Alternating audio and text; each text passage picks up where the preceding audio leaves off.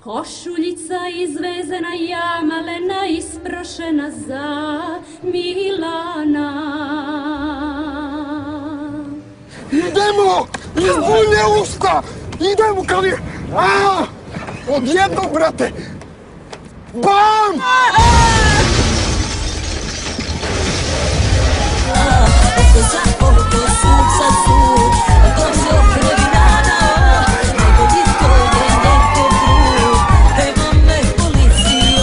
Hoćeš da zaglavimo 40 godina u zatvoru. Gde si ti videla oružanu pljačku bez pucnjave? Pa ima, brate, tutam golim rukama, bre, pička ti materina silenička.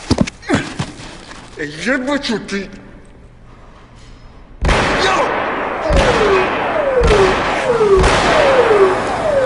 Stani!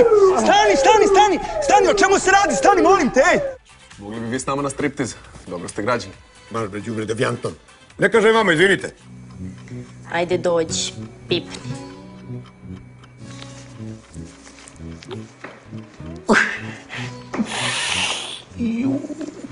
Braćo radnici, braćo ludaci, reperi, dobrodošli na moje slavlje. Svi smo mi jedna familija, svi smo mi jednako najebali u životu. Ja ovde naređujem!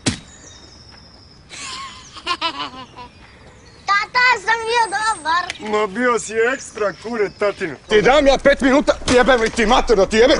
Si čuo?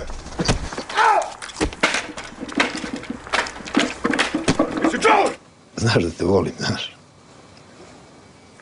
Pa ja tebe volim.